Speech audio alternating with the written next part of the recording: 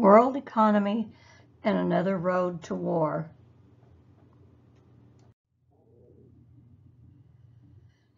The early steps to war, of course, has to begin with the Treaty of Versailles at the end of World War I.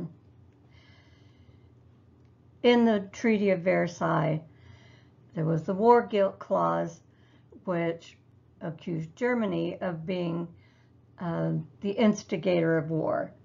And that is because um, the Balkan affair with Austria and Serbia, rather than staying a localized war, because Germany offered Austria a blank check, um, he Germany gets the war guilt uh, clause. Also in the Treaty of Versailles, Germany lost territories and had a reduction in military forces. The worst part um, that would no doubt lead to war was reparations. Germany was to pay back the Allied powers um, an amount that in today's market uh, dollar value would be $269 billion. The Allied powers were all indebted to the United States because of borrowing money, buying war materials during World War I. So the major powers' economies were tied to the U.S. economy. So that in 1929, when the stock market crash hit German and Britain economies especially hard. A political cartoon of the day referring to the Versailles Treaty. The German people must pay for all damage to civilians on land or sea or from the air.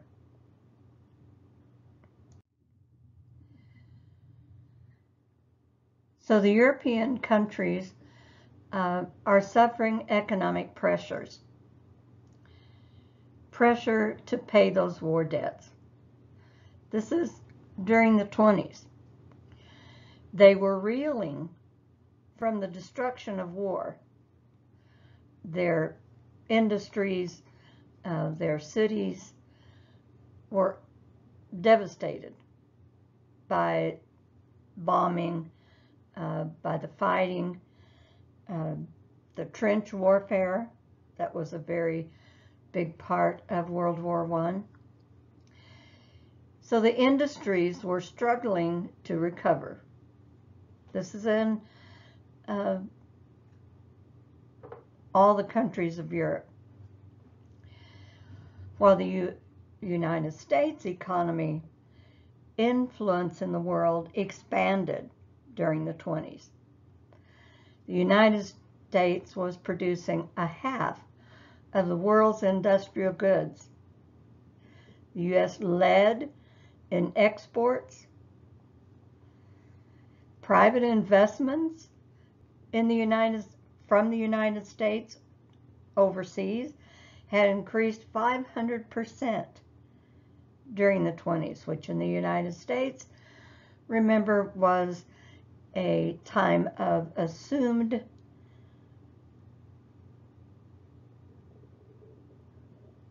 uh, economic boom.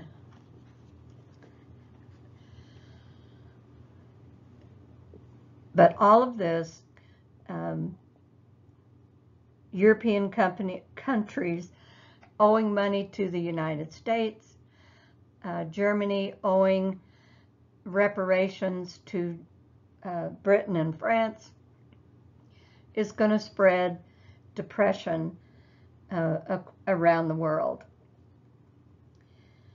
This little chart, which can't see all of it, but the world woes There were high interest rates in Great Britain, decreased spending and high unemployment.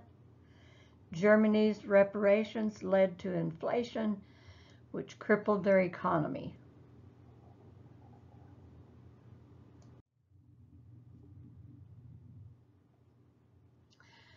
Foreign, United States foreign policy during the 20s um, place with two or three different plans. For instance, the Dawes Plan, and this is um, Dawes. The Dawes Plan attempted to settle the conflict between France and Germany.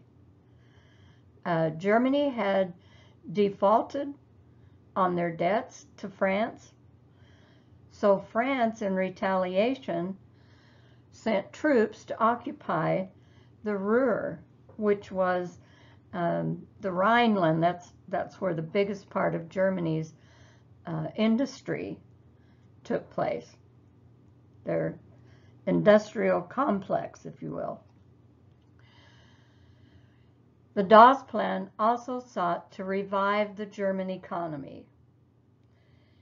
So the United States is going to negotiate loans from U.S. banks to give to Germany, which the idea was to give Germany uh, the money necessary to pay Britain and France payments on reparations.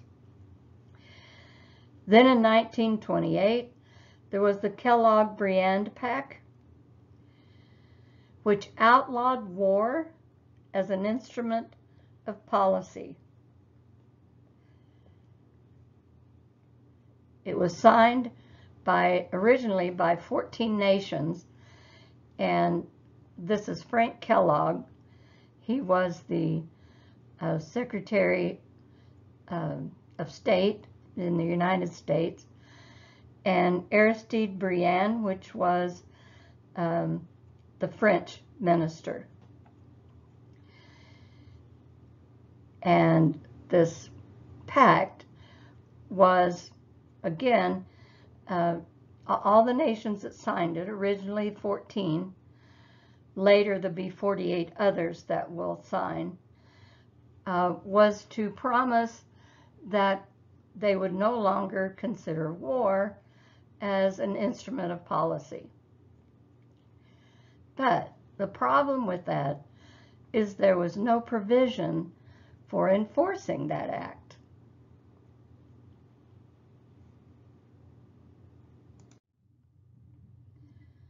So the international financial system, um, another attempt to intervene by the United States, came through a plan uh, called the Young Plan, and it was negotiated by a man named Young, a financier. It was to reform the Dawes Plan. It reduced German reparations to $8 billion and allowed 59 years for repayment.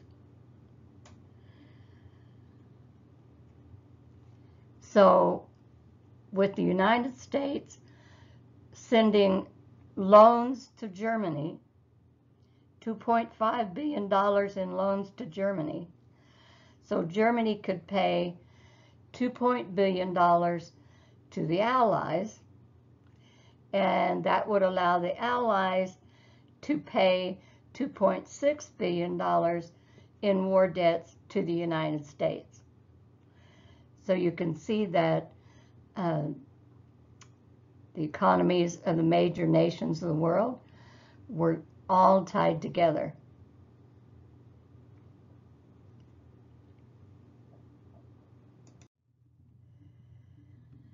In Germany, because of the Versailles Treaty, the war guilt clause, and the reparations, created a depressed political, social, and economic situation in Germany.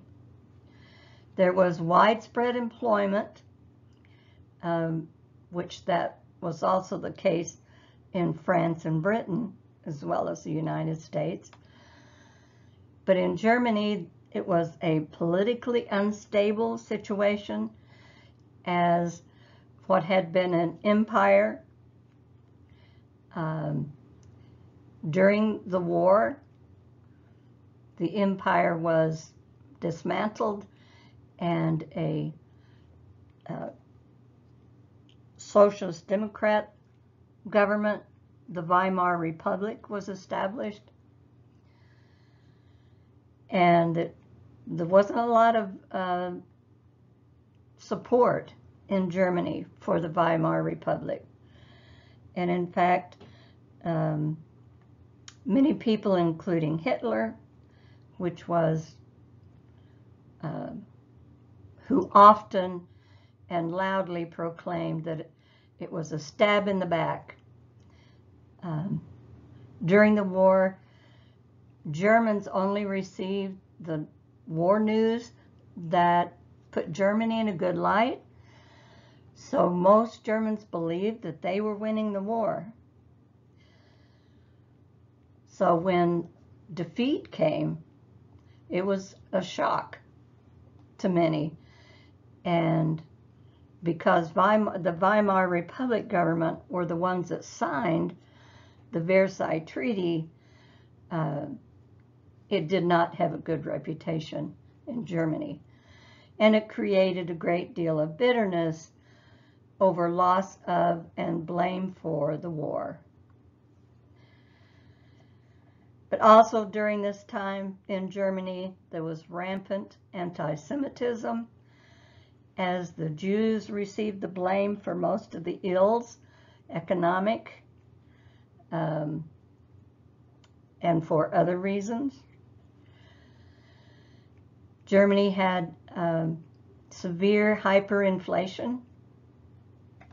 In fact, uh, the German mark which was their equivalent of the American dollar, um, became uh, lost value, increasingly lost value. Also during this time, paramilitary groups and attempted coups troubled Germany. Um, this was a photograph that was taken of men that were gathering to take part in what was called the Beer Hall Putsch in Munich that was led by Adolf Hitler. Uh, Hitler was arrested for his part in that attempted coup, which it was a failure. As a result, Hitler was imprisoned for five years and while he was in prison, he wrote um, his book called Mein Kampf, or My Struggle. And if anybody had any other political uh, politicians, other countries, if they had read this book, um, things might have gone quite a bit differently because in this book, Hitler spells out his um, desire to create the perfect Aryan, um, his anti-Semitic ideas, very blatant. Um, he pretty much laid out his plans that he wanted to institute in Germany.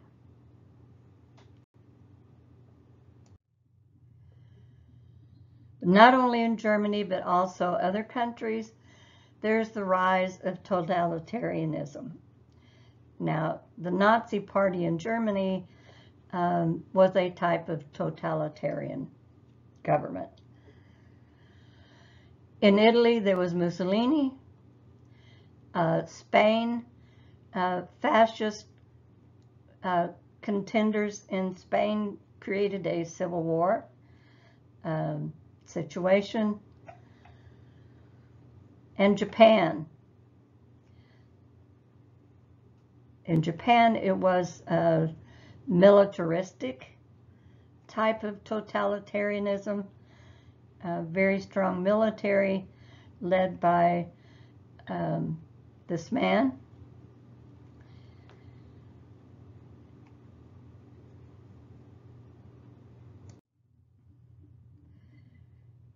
Let's look at Hitler on this road to war.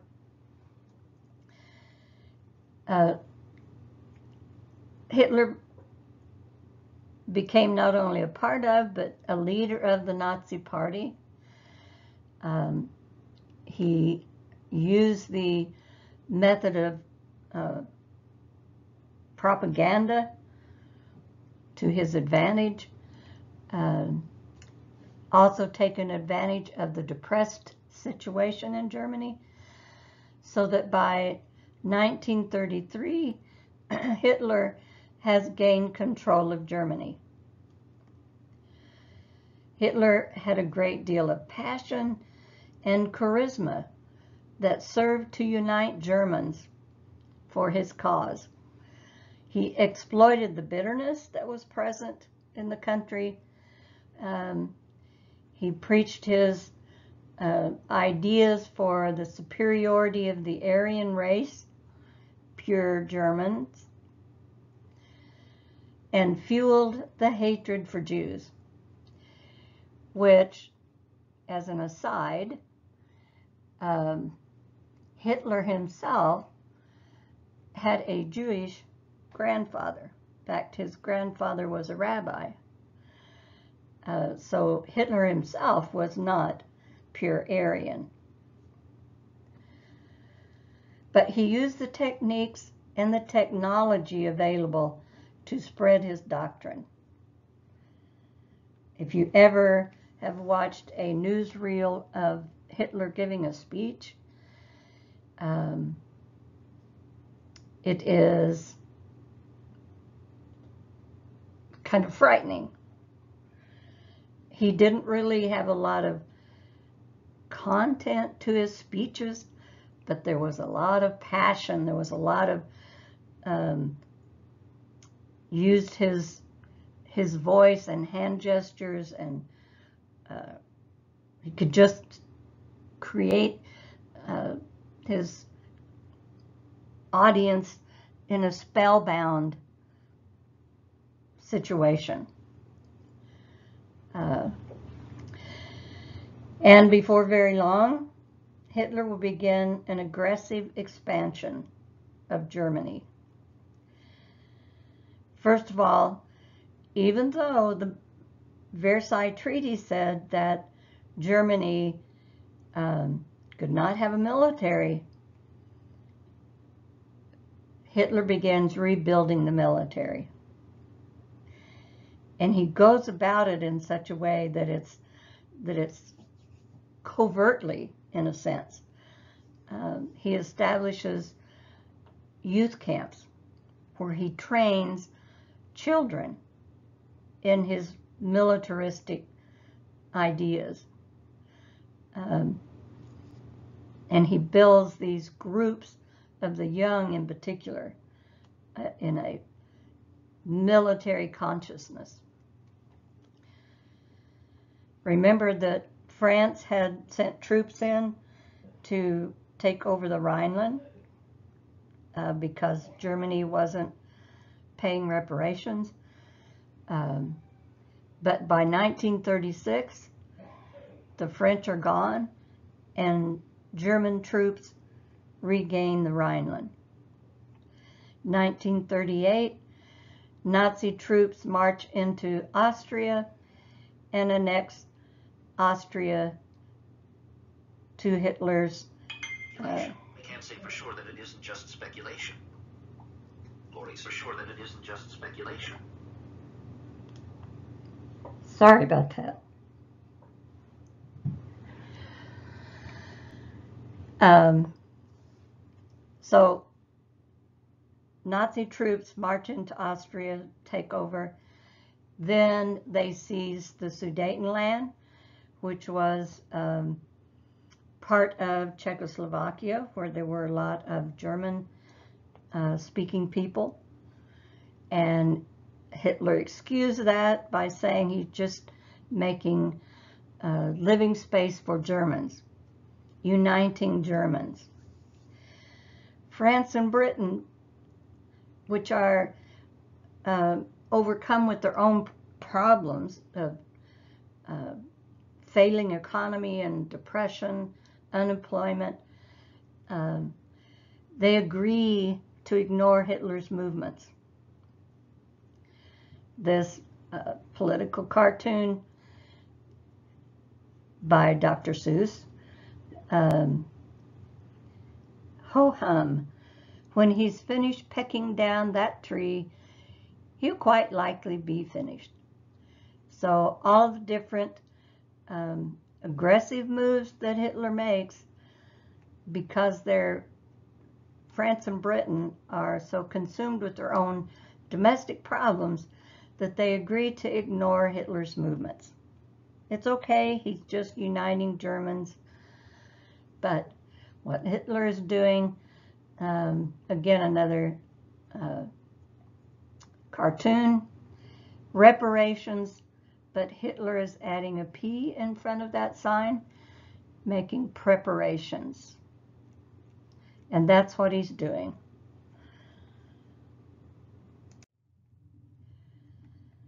The United States makes an early stand.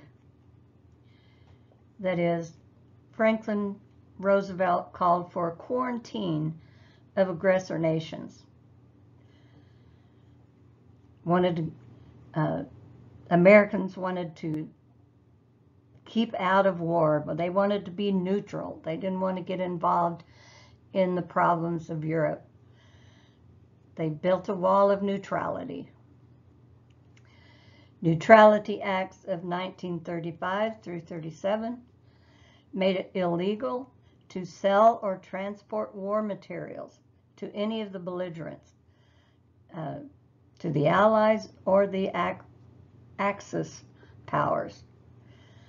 And any exports to belligerents were to be paid for with cash. Any exports. This is I mean, no war materials at all. But any other exports, whether it's uh, cotton or wheat or whatever, the belligerents had to pay for it with cash.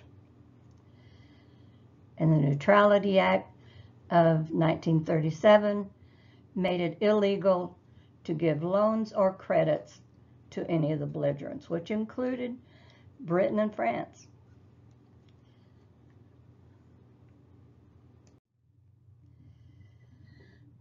But Hitler's aggression opens the door to war. He's led troops uh, to invade Poland September the 1st, 1939, which caused Britain and France to declare war on Germany September the 3rd, 1939. Germans invade and bomb Poland, and Britain mobilizes. Hitler invaded Norway and Denmark in April and May of 1940. Italy and Japan joined Germany to create the Axis powers. Then on December 7, 1941, Japan bombs Pearl Harbor. Japan opens war on the United States. Hawaii is attacked and bombed. Then the Axis powers declare war on the United States. Now, the United States declared war against Japan on, and I don't have this on there, not sure why, um, declared war on Japan in, on December the 9th, 1941. Um, but then Germany and Italy declare war on the United States, and the United States declared a state of war with Germany on December the 11th, 1941. U.S. now at war with Germany and Italy. Japanese checked in all land fighting. So on. So the world, again, is at war.